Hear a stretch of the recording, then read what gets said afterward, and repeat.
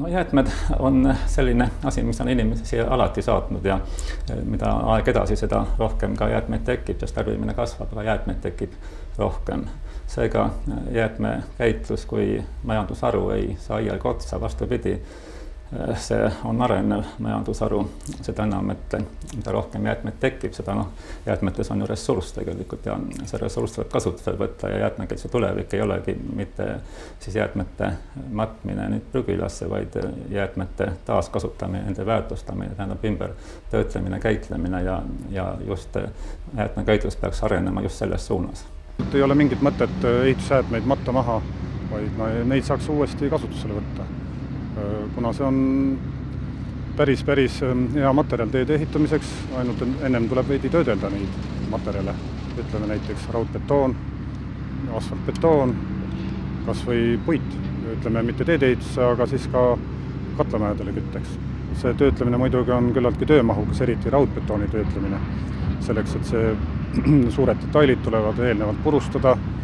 ja, ja siis äh, hiljem ka lõpplõug purustist läbi lasta Äh, millest siis tekib killustik. sama teeme ka asfaltbetooniga.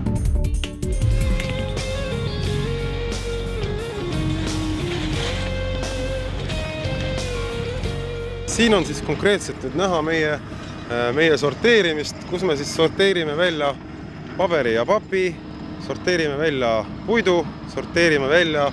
vana metalli, äh, sorteerime välja ka silikat tellise, mis siia satub käsitsi tööga saavutatakse tegelikult kõige puhtam,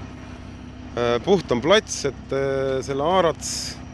aaratskopaga ei suuda me välja võtta sada protsenti kõike. kui nüüd ehitusfirma suudab juba sorteerida oma jäätmeid objekti peal, see tähendab seda, et, et on mitu erinevat konteinerit, kuhu nad koguvad siis kohe otse objektil metalli, puidu, kivi. kui ta nüüd siia saabub, siis ei lähe ta mitte sinna sorteerimisväljakule, kus, kus nagu maha kallatakse ja sealt ei ole nagu midagi välja võtta, vaid ta läheb siis konkreetselt meil juba sinna üleval olevale platsile. see tähendab seda, et ta on juba sorteeritud, temaga ei ole rohkem mingit vaeva. kui ta jääb ootama siis seda purustamist.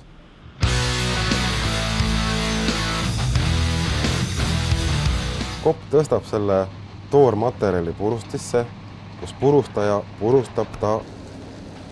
peeneks. nii, sealt tuleb siis ütleme konkreetne fraktsioon, mida eraldi siis sõelutakse, kus kõige suuremaga täidetakse see pehmem pinnas või, või maa-ala ära ja siis juba minnakse edasi äh, väiksemate fraktsioonidega. no ma arvan, kümne aasta pärast on äh, väga palju see asi kasvanud, isegi ma ütlen, et praegu oleme lapsekingades, et on ainult äh, teatud seadmed, mida me oleme jõudnud esialgu soetada see on päris kallis investeering. aga ma arvan, pikema aja peale ta tasub ära ja kindlasti neid seadmeid tuleb Eestimaale veel juurde. samas tahan öelda veel seda, et me ei tee seda tööd praegu, nagu me teeme siin väojääd, karjääri jäätmete käitluspaigas, vaid me teeme ka üle vabariigi, kuna noh, need seadmed on mobiilsed, me saame nad transportida ükskõik kus, kuhu Eesti otsa, kus toimub mingisugune lammutustegevus ja, ja seal me siis teeme need materjalid peeneks ja, ja saab seda jälle kasutada teedeehituses. no jäätmete taaskasutamise protsent kogu maailmas kasvab üha ja kui siin veel, veel kusagil kümme-viisteist aastat tagasi oli see taaskasutamisprotsent võib-olla kusagil kaks, kolmkümmend või isegi alla selle, siis arenenumates riikides on jõutud juba kusagil seitsmekümne, kaheksakümne protsendi peale ja on kuulda ka, et heas Euroopa linnades räägitakse juba ka sellest, et prügiala hakkab nagu muutuma otstarbetuks ning seda ei ole enam tulevikus võib-olla vaja, sest jäätmete taaskasutamise pingerida on nüüd niimoodi, et jäätmed tuleb kõigepealt püüda neid, nende teket vältida siis kui jäätmed on juba tekkinud, siis neid nagu taaskasutada ja väärtustada ja kõige viimases järjekorras nagu prügilatesse matta ja just nimelt see, kuna jäätmetes peitub ressurss ning jäätmed on läinud hinda, siis on väga tormiliselt arenenud ka jäätmete noh, taaskasutamistööstus